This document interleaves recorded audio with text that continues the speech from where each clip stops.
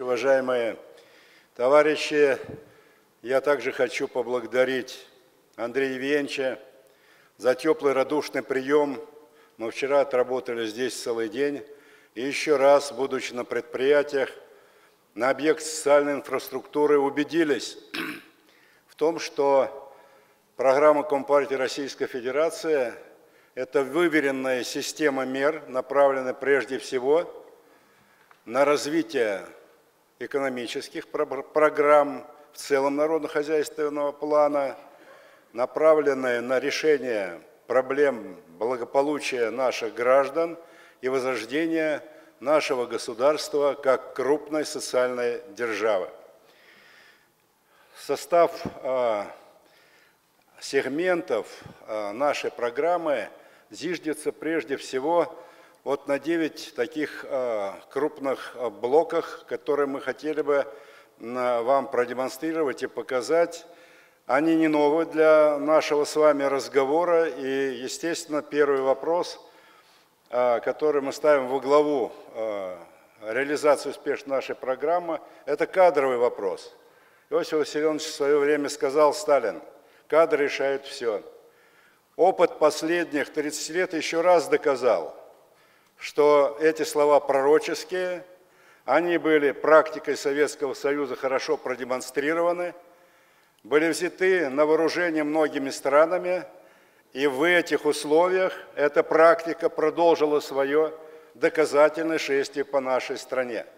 Мы вспомним работу наших уникальных губернаторов, таких как Кондратенко, Стародубцев, Виноградов и многих других, что в эти сложные времена умело держал ситуацию в своих регионах.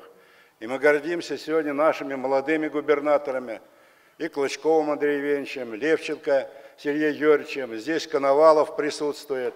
Геннадий Андреевич назвал многих других наших выдающихся руководителей, которые также вписываются в эту парадигму бережного отношения к кадрам. Но кадры, они готовятся, должна работать целая система, целая служба – которая готовит кадры. Именно главными критериями в этом плане мы считаем тот опыт, который, исходя из жизненной составляющей, те или другие э, руководящие кадры, выдвигаемые на работу, получили. Профессионализм. А в условиях вот этой тотальной коррупции, конечно, и моральные качества выходят на первую ступень. Одним словом, не случайно сегодня партия готовит свои кадры – у нас работает этот институт успешно, и мы в большей степени сейчас будем уделять внимание подготовке наших экономических кадров.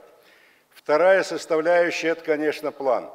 30 лет отсутствия плана под флагом «рынок отрегулирует все» привел а, к разрухе многих отраслей народного хозяйства, в первую очередь уникальных, на чем зиждилось величие нашей большой советской державы, наша великая победа.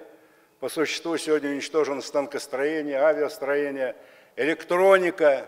Мы сегодня во многом зависим как раз от тех э, наших недругов, которые поставляют нам даже на э, системы оборонного значения электронику. Мы видим, что без плана невозможно действовать самым серьезным образом, решая те поставленные задачи в главу угла, в том числе и социальные. И здесь снова э, выходит пятилетка Левченко на первый план как дополнение к тому опыту, который мы с вами имеем в советское время. Здесь как никогда всплывает уникальный опыт Примакова-Машлякова, который сумел за год на 16% в этом тотальном уничтожение по существу нашей державы как дефолтной вывести э, на такую динамику. Независимость экономической нашей державы, без нее невозможно не формировать бюджеты, не эффективно расходовать, не поднимать ни экономику, ни промышленность, ни сельское хозяйство. Мы в этом ключе еще раз говорим, что ВТО является глобальной системой по захвату рынков развивающихся стран – именно той э, золотой миллиардной составляющей, которую представляет прежде всего Соединенные Штаты Америки. Мы посчитали и увидели, что только впрямую, э, запрещая развивать производство, ограничивая рынки наши, через таможенные пошлины потеряли 1 триллион, а последовательно 4 триллиона. Сколько можно продолжать это губительское действие? Исходя из этой ситуации, мы, уважаемые товарищи, говорим о необходимости выхода из ВТО или работать там на условиях, приемлемых для нашей страны. Исходя из этого, мы должны изменить денежно-кредитную и налоговую систему. То есть это важнейший блок, который мы будем раскрывать по ходу и выступления, и моего доклада. Я должен сказать, что сегодня банки прихвачены иностранным капиталом. Сегодня инвестиции иностранные идут не через физику и развитие какого-то производства, а просто перехват э, собственности, игра ценными бумагами. Это факт доказанный, не требует сегодня каких-то э, дополнений э, в разъяснении. Исходя из этого, мы, конечно, видим, что сегодня аудиторские Э, компании во многом принадлежат иностранцам. И если эти банки принадлежат базовые, значит, иностранцам, ну, Сбербанк 40% американцам э, акций имеет, но как можно, по большому счету, работать в этих условиях? Почему наши сегодня э, предприятия не могут получить все эти годы дешевых, длинных кредитов для того, чтобы восстанавливать экономику, базовую ее составляющую? Да потому что целенаправленная политика идет в этом плане, а последние годы она просто удушающая. У нас монетизация сегодня на уровне 40%, в Соединенных Штатах Америки более 100, в Китае 200, в Японии 250.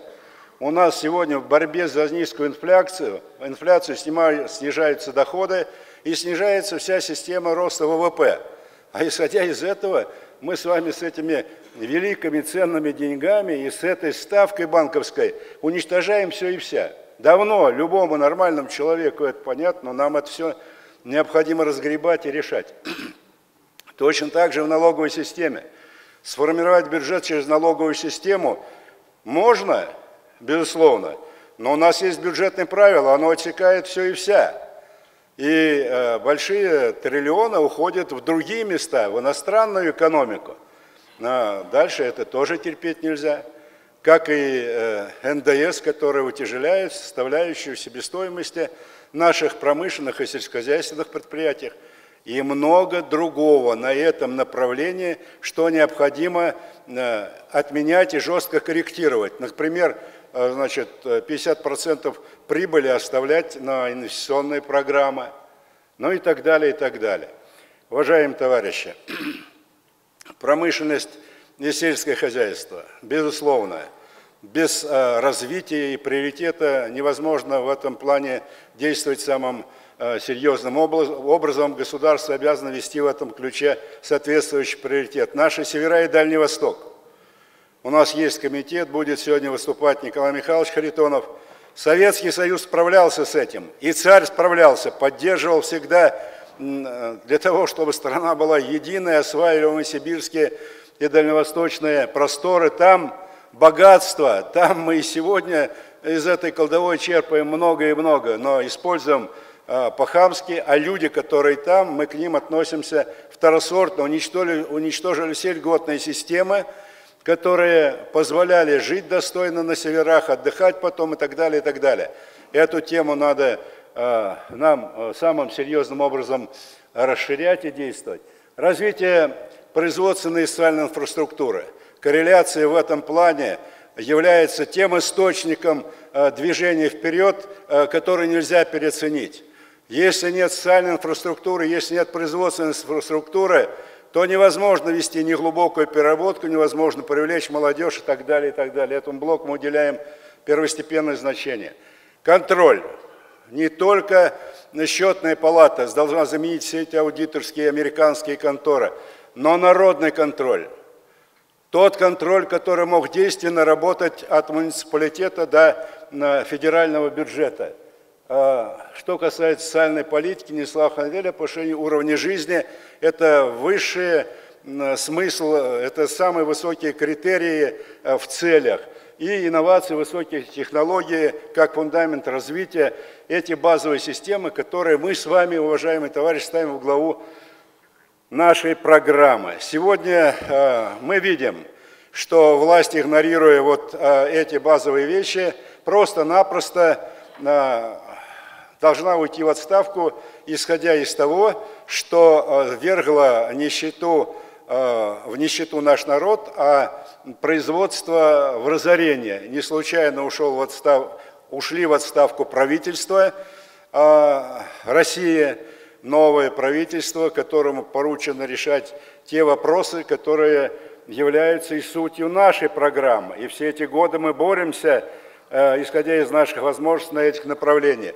Вот э, первый, второй слайд мы хотим э, как раз показать вопросы демографии. Советский Союз, назову одну цифру, с 40 -го года по 90 прирастал в 1,8 миллиона человек в год, несмотря на 27 миллионные потери.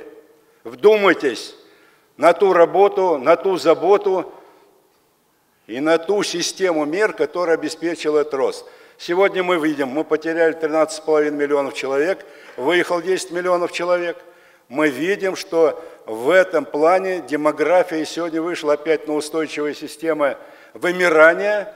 И нам говорят, это гендерная яма, там, значит, туда-сюда. В то же время видим, как 60% у нас распадают семьи, каждая вторая беременность прерывается. Видим, как в доходах Семья с одним ребенком 12% бедных, с двумя 26%, с тремя уже 50% и так далее, и так далее. И в этом ключе, подержите слайд побольше, в этом ключе мы можем посмотреть э, стипендии студент, пособие по безработице, МРОД и другие показатели. Они сегодня конечно, нищенские, и если их посмотреть через потребительскую корзину, рассчитанную последним уровнем, вы видите, какая здесь диспропорция. И рядом, рядом э, мы можем посмотреть, какая зарплата у нас в Сбербанке, что у нас есть э, в нефти, перерабатывающей промышленности. Мы видим, что за 30 миллионов получает член правления в Роснефти, 25 в Сбербанке, и пошли и поехали. И наши эти 13 э, тысяч э, рублей пенсии, и наши 35 э, тысяч, все, что касается средней зарплаты. Но обратите внимание, уважаемые товарищи, на ситуацию, что 16 триллионов уже долг у наших граждан, 16 триллионов. И в этом ключе я особенно хочу подчеркнуть, что по большому счету э, дальше невозможно так э, жить и терпеть, потому что последние годы падает доход.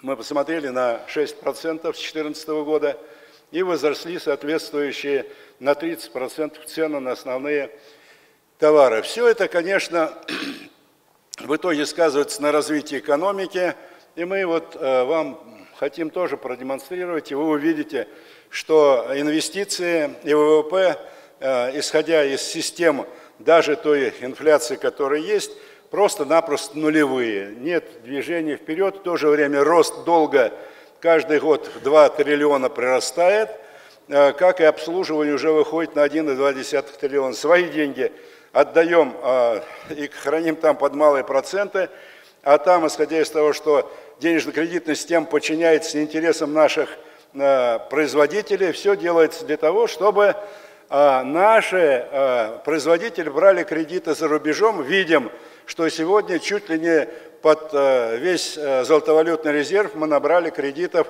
корпоративных. Уважаемые товарищи, ну и мы видим, что рост промышленности – Э, он э, имеет только лишь на э, системах природопользования с точки зрения добыч полезных ископаемых, нефтехимия, металлургия, а все, что связано, машиностроение, станкостроение, все продолжает, авиастроение, все продолжает падать. Уважаемые товарищи, сельское хозяйство в этом плане тоже не может, следующий, пожалуйста, слайд, не может тоже похвастаться значит, э, большим результатом, но все-таки мы имеем не 109 за эти годы, как по промышленности, потому что я уже говорил, ноль по инфляции. Здесь мы имеем 129 э, процентов в целом прирост, а по растневодству вот 138 решены ряд проблем, допустим, производства мяса птицы к 90-му году в 2,8 раза, мясо свинина вышли на уровень, но кукуруза в пять раз зерно, пшеница, много чего в этом плане сделано, в том числе сырье для сахара, производство его, но базовые отрасли, животноводство молочное. В загоне, 57 миллионов было скота, сегодня рожки до ножки в три раза сократились из 57 миллионов. Молока тонн, которые производили сегодня 18 миллионов товарного. И здесь проблему решать, решать необходимо, и мы ее обязаны решать, как и мясо говядины. Здесь тоже у нас провалы, и, конечно, плодово-ягодная продукция и виноградники. Мы принимаем сейчас активное в этом а, направлении наши действия. Я чуть об этом скажу ниже. Задачи здесь стоят огромные. Пожалуйста, следующий слайд. Уважаемые товарищи, формирование бюджета. А, сегодня правительство предложило нам на трехлетку бюджет, а, исходя из 20, 21 и в 2022 году 22 триллиона. И когда мы смотрим, а, как же распределяются эти средства, ну, допустим, социальная система, мы сравнили с 2014 годом и увидели, что минус 1,1 триллиона. В сравнении, если взять экономический комплекс, на 536 миллиардов меньше, на образование 62 миллиарда меньше. То есть, по большому счету, прошло много лет, и мы ничего, вроде имеем э, цифры большие, но ничего не имеем реального в приросте решения этих институциональных проблем. Я э, хочу, чтобы у нас с вами в этом ключе было соответствующее понимание. Наша задача, программа без э, бюджет консолидированного федерального, это не программа, это сердце программы, поэтому мы предложили, сформировали свой бюджет, он э, от 20... Э, назад верните, пожалуйста. Слайд назад верни. Значит, он у нас от 27, 20 год 33,9, в 22 году насчитывается, еще он составляет это дополнение – мы решаем вопросы, связанные с прогрессивным налогом, монополию на виноводочные. Мы решаем проблемы деофшеризации. Мы замораживаем фонд национального благосостояния на уровне 8,2. Мы э, убираем ряд тех налоговых мешающих систем, как э, э, бюджетные правила, убираем э, э, все, что связано с снижением или льготы на пошлины вывозные – и решаем таким образом задачу. Важно, и прописываем это все, важно, уважаемые товарищи, не только сформировать, но и как решить задачу э, распределения бюджета. Я вам сказал, как распределяется бюджет, который предложил нам правительство, как мы его распределяем. Следующий слайд, пожалуйста.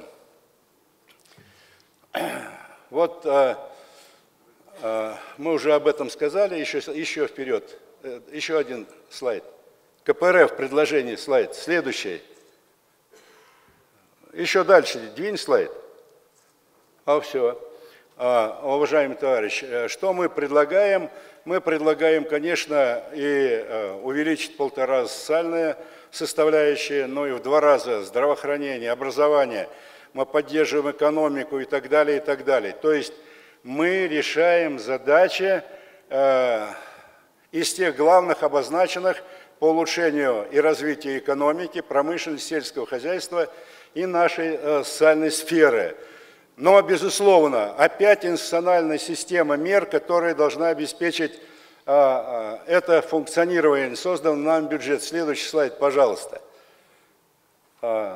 Вот, уважаемые товарищи, пусть так пока этот слайд побудет, я хотел бы сказать о институциональных проблемах, которые мы должны решать. Конечно, это укрепление государственного сектора экономики. Конечно, это решение задач, а, связанных с дешевыми кредитами, с, инвестиционными, с инвестиционной политикой а, нормальной, льготной. Конечно, это развитие производительных сил и их размещение. Вот те а, базовые вещи, такие как дисциплина труда, ответственность кадров, значит, вопросы борьба с коррупцией, доступные дешевые энергоресурсы, И, э, конечно, поддержка и развитие малого и среднего бизнеса – это главные вещи. Потому что сегодняшняя власть, вернее, следует слайд, который был до этого, сегодняшняя власть, вот э, она не только через те системы мер, о которых я говорил, э, значит, не финансирует сегодня национальные проекты, государственные программы, но и даже напрямую, без пересчета. Допустим, берем нашу государственной программы развития сельского хозяйства продовольственных рынков. 266 миллиардов, э, оставь тот слайд, который был. 266 миллиардов, значит, просто-напросто э, не выделила по паспорту эти деньги, и все. Ну как же принята программа, почему не выделять? Вот мы посмотрели и предложили сегодня выйти через э, федеральную составляющую бюджета к 2025 году на 500 миллиардов. Исходя из того, что недофинансировано дать к тому паспорту, значит, и выходим до 50, э, на 500 миллиардов. Решая э, в целом уже значит, с региональными структурами, мы выходим практически на 1 триллион. На 1 триллион, значит, и кроме этого у нас появилось еще по существу три программы. Комплексная программа развития сельских территорий, 2,3 э, триллиона вместе с регионами, и уже с 2020 года она работает, это вот плюсом к этой программе. Третья программа – это вторая целина на 1,4 триллиона, и мы сейчас ее разработали, и все делать будем для того, чтобы с 2021 года она пошла в финансирование, потому что 40 миллионов надо поднимать, с 80 миллионов гектар, который сегодня у нас есть в обороте, а было в 90-м 117, нам надо выходить на этот уровень, а это, конечно, дополнительно еще 50 тысяч комбайнов как минимум, это 100 тысяч тракторов как минимум, то есть это решение проблем жилья, инфраструктуры сельской, это логистика и так далее, и так далее, это миллионы рабочих мест, это все, что связано сегодня с решением главной задачи. Уважаемые товарищи, дальше двигаемся. Вот э, э, решая эти базовые вопросы, в том числе и институциональные проблемы э, по развитию промышленности и сельского хозяйства, мы их тоже обозначили, начиная от финансирования бюджета, заканчивая подготовкой кадров, мы выходим на решение базовых задач. Базовые задачи, они заключаются у нас с вами в первую очередь увеличение продолжительности жизни на 5 лет. Мы выходим с вами на возвращение э, пенсионного возраста на тот уровень, который был до этой реформы. Мы с вами решаем проблему удвоения заработной платы, выход на 40% уровня пенсии к заработной плате. Мы решаем задачу в промышленности восстановления того великого, что уничтожено от станкостроения до авиастроения. Мы решаем задачи возвращения всеоборот по селу 117 миллионов гектар, решаем все задачи, связанные с инфраструктурой сельской. Для этого у нас, товарищи, есть с вами все, что э, связано с подготовкой соответствующих законопроектов законопроекты по национализации, по прогрессивному налогу, по монополии и по деофшеризации и самые технологичные законы, которые связаны с экологией, мы подготовили, и многие из этом, на этом направлении приняты. Это наши законы, и 219 экологически нормирован, 458 или там 415 по лесу, 27 по защите лесных угодий и так далее, и так далее. То есть вот в этом ключе у нас много сделано, и вот Сергей Юрьевич, решая задачи лесные, там в 10 раз почти или там в 8 раз увеличил бюджет, он пользовался как раз 458 законом, как он должен работать. А вчера Андрей Евгеньевич нам показал, как надо работать, пользуясь 458 законом. Это закон об обращении отходов.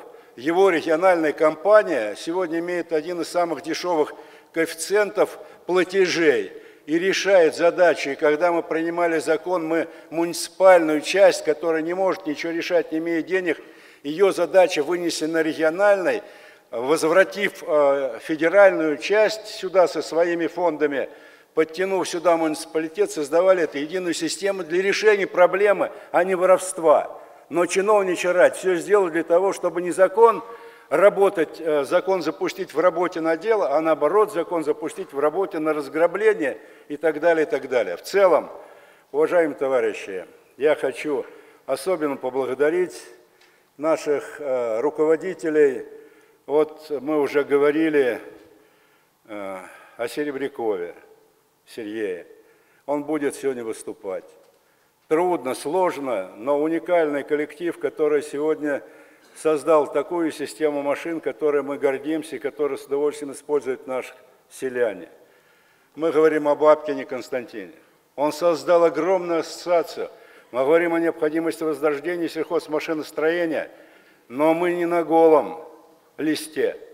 Комбайны, которые он производит здесь, на Орловской земле, два года назад получили такую прописку в сравнении с другими комбайнами, и в том числе и немецкими, и американскими, наши доказали преимущество и были куплены аграриями Орловской области, еще раз пропагандируя эту систему. Мы говорили о Павле Николаевиче, здесь сидит Сергей Казанков. 16 миллиардов его хозяйство сегодня э, производит э, воловой продукт. Миллиард восемьсот дает налогов, три тысячи человек – 638 магазинов по всему Поволжью. Лучшая продукция. Еще раз мы говорим о величии труженика нашего и на в промышленности. Это они в 1942 году сумели только за год поставить на гора 24 тысячи танков и 22 тысячи самолетов. В 1942 до лучших танков и лучших самолетов. Мы убеждены – что наша программа отвечает чаяниям, интересам нашей Родины и нашему народу. И мы за нее с вами должны биться и все сделать для того, чтобы она не под каким-то сукном лежала, а она сегодня должна работать. Сегодня аграрная, вот комплексная программа наша и по целине, и та, что касается развития сельского хозяйства – она сегодня в действии, но она требует от нас напряжения. Я хочу в этом плане поблагодарить нашего лидера Геннадия Андреевича. Нам без него было бы невозможно пробить вот эти программы, хотя мне пришлось раза три их докладывать и у Путина, и на Совете национальной а, а, и на Совете национального собрания, и в правительстве, но именно это нам вместе помогает сегодня чувствовать себя не лишними в борьбе за наш народ и за нашу Родину. Спасибо, желаю всем удачи.